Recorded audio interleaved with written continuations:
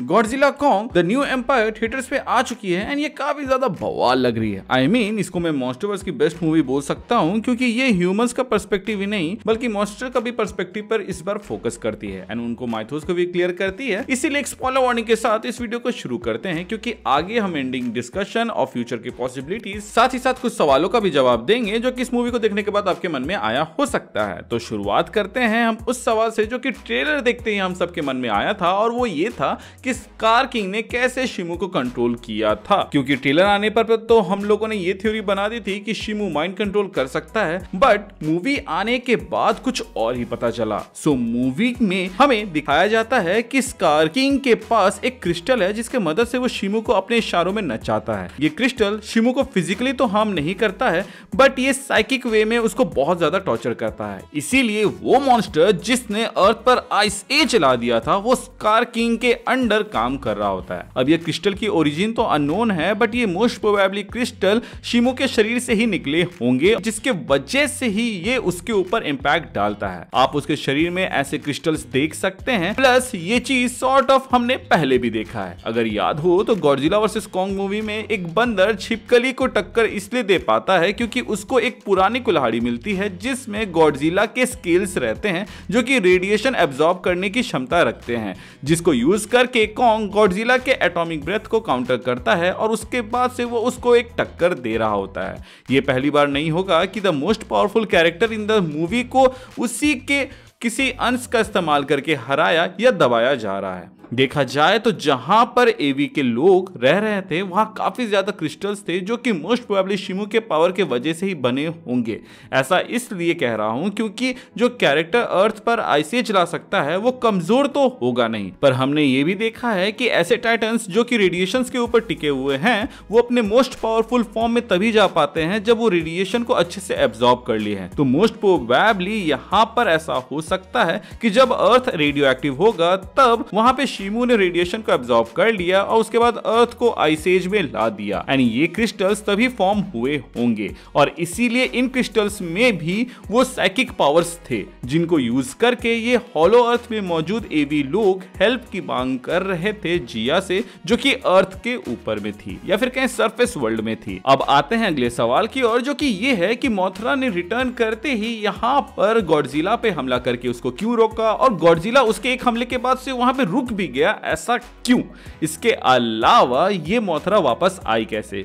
तो बॉस देखा जाए तो मोथरा वापस आएगी, इस बात का हिंट हमें पहले ही दे दिया गया था, जहाँ पर एक आर्टिकल हमें पढ़ने को या फिर कहीं देखने को मिलता है कि मोथरा के जैसा एक एग मिला है। तो उसका आना तो पहले से ही तय था, जिसको पहले ही हिंट कर दिया गया था। अब यहाँ पर जिस तरह उसको वापस आते दिखाया गया है, ये थोड़ा मैजिकल वे में हो गया, लेकिन हो सकता है कि वहाँ पर उसका कुकुन होगा, जो कि जिया के वजह से ही, या फिर कहें, उसके आने से ही एक्टिवेट हुआ होगा। एंड मोथरा के आते ही उसके पास इतना दिमाग कैसे था कि किसको रोकना है, कहाँ रोकना है और क्या खतरा है? तो बॉस इस चीज़ का जवाब वो ये था कि मोथरा एक ऐसा टाइटन है, जिसके पास उसके वंशज की मेमोरी स्टोर रहती है जेनेटिक्स में। इसीलिए उसको वापस आते ही सब पता था कि उसको क्या करना है, किसको रोकना है और किसकी मदद करनी है और किससे मदद लेनी है। अब देखो भाई मॉन्स्टर्स के यूनिवर्स में जादू टोना तक शुरू हो चुका है तो यहाँ पर अब लॉजिक ढूँढने से भी मिलने वाला नहीं है। बट जो एक सेटिस्फैक्ट्री रीजनिंग जो कि डायरेक्टर्स की तरफ़ से या फिर मैं कॉम्प्रीहेंड या फिर थ्योरी में बनाकर दे पा रहा हूँ, उसको आप सुन लो ताकि जो भी आप देख रहे हो उसको डाइजेस्ट करने में आसानी हो। क्योंकि ये बात आप डिनाई नहीं कर सकते हैं कि ये मूवी तो बवाल थी और देखने में मज़ा आ रहा था। एक चीज़ जो मुझे काफ़ी अच्छी लगी वो ये है कि स्कार किंग को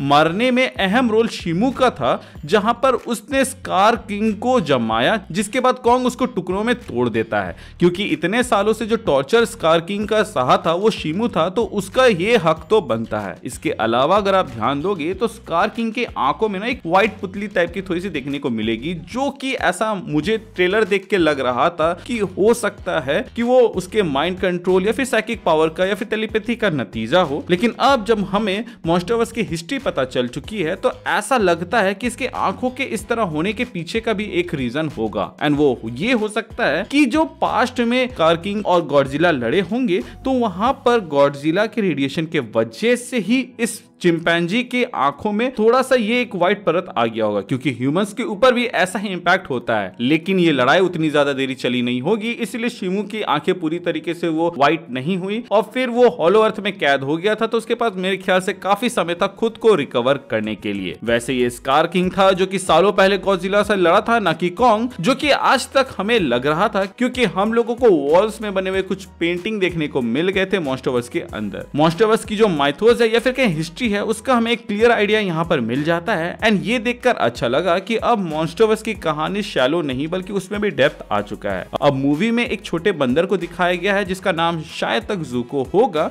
जो कि शायद तक आगे जाके कहानी में अहम रोल अदा करे देखा जाए तो यहाँ से कहानी अब दो डायरेक्शन में ही जा सकती है, जिसमें गॉडजिला और कॉन्ग दोनों ही अलग अलग रास्ते में जाए। बात करें गॉडजिला की तो आप इस मूवी में देख सकते हो कि गॉडजिला की मोबिलिटी काफ़ी ज़्यादा तगड़ी हो गई है और वो फाइट में भी काफ़ी ज़्यादा इवॉल्व हो चुका है। देखा जाए तो गॉडजिला अपने प्राइम स्टेट में पहुँच चुका है और अर्थ में मुझे तो नहीं लगता कि ऐसी कोई थ्रेट अब बची होगी जो कि गॉडजिला को टक्कर दे दे, क्योंकि कोई भी थ्रेट अगर गॉडजिला को टक्कर देने के लिए तैयार हो भी रही होगी, किसी भी न्यूक्लियर प्लांट से रेडिएशन को एब्जॉर्ब करके तो तब तक वहाँ पे गॉडजिला पहुँच जाएगा और उसकी औकात वहाँ पे दिखा देगा। सो देखा जाए तो यहाँ पर गॉडजिला को अब अगर टक्कर मिल सकती है तो वो किसी फॉरेन या फिर कहीं एलियन से मिल सकती है। तो या तो गॉडजिला को अर्थ छोड़ के स्पेस में जाना पड़ेगा, या फिर स्पेस से कोई अर्थ में आएगा जो कि गॉडजिला को टक्कर दे।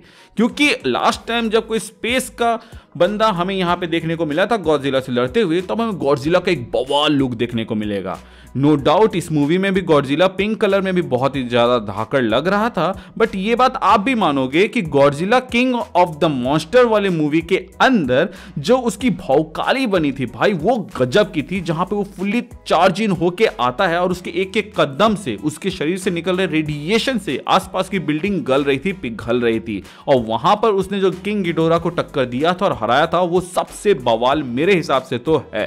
सो अर्थ में ऐसा कुछ भी नहीं है जो अब गॉडजिला को चैलेंज कर सकता है, इसीलिए मोस्ट प्रोबेबली उसको अर्थ से बाहर भेजा जाएगा। एंड क्योंकि गॉडजिला की हिस्ट्री में आप देखो तो एक स्पेस गॉडजिला भी है तो मोस्ट प्रोबेबली ये चीज़ हमें होते हुए दिख सकता है। वहीं अगर हम बात करें कॉन्ग की तो कॉन्ग की कहानी इस बच्चे के ज़रिए दिखाया जा सकता है, जहाँ पे most probably son of Kong नाम से कोई मूवी वो लोग बना सकते हैं, जिसमें हॉलो अर्थ को वो एक्सप्लोर करें, जहाँ पे उसको कुछ नए थ्रेड्स देखने को मिले, क्योंकि इस मूवी में भी बताया गया है कि हॉलो अर्थ को अभी तक उतने अच्छे से एक्सप्लोर नहीं किया गया है प्लस उसमें भी कई सारे मिस्ट्रीज हैं, जिसका एक झलक तो हमें इस मूवी के अंदर देखने को मिल गया है। इस मूवी के अंदर आपको कोई भी क्रेडिट सीन देखने को नहीं मिलेगा, ताकि फैंस को कोई फॉल्स होप ना मिले कि इस फ्रेंचाइज का आगे भी कोई पार्ट आने वाला है। अपार्ट फ्रॉम अ रोड जो कि शायद तक जूको का हो सकता है मतलब कि वो छोटे बंदर का, या फिर मोथरा का भी हो सकता है, क्योंकि एक ही बार सुन पाया था, और वो भी उस वक्त जब मैं थिएटर छोड़ के जा रहा था तो मैं उसे ठीक से कॉम्प्रिहेंड नहीं कर पाया। कई लोग ये सवाल पूछ सकते हैं कि एंड में गॉडजिला ने आसमान की और अपने सारे एटॉमिक ब्रेथ को क्यों छोड़ दिया? तो बॉस अगर आपको याद हो तो वहाँ पे आते ही शिमू ने आसमान में अपने एटॉमिक ब्रेथ को छोड़ा था,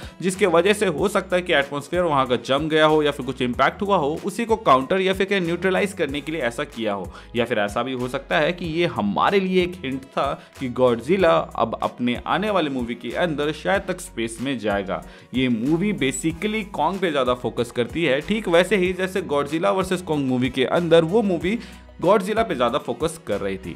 सो so गाइज़ आज के लिए बस इतना ही। आई होप आपके सवालों के जवाब मिल गए होंगे। आपको ये भी पता चल गया होगा कि मूवी कैसी थी और एंडिंग एक्सप्लेनेशन भी आपको अच्छा लगा हो। अगर ऐसा है तो चैनल को सब्सक्राइब कर दीजिएगा ताकि आप ऐसे वीडियोस मिस ना करें। इसके अलावा हमारे चैनल का एक छोटा सा मोटो है, जो कि है, लोगों की मदद करे, अपना ख्याल रखें एंड कीप मूविंग फॉरवर्ड करट लगाकर आगे बढ़ते जाए।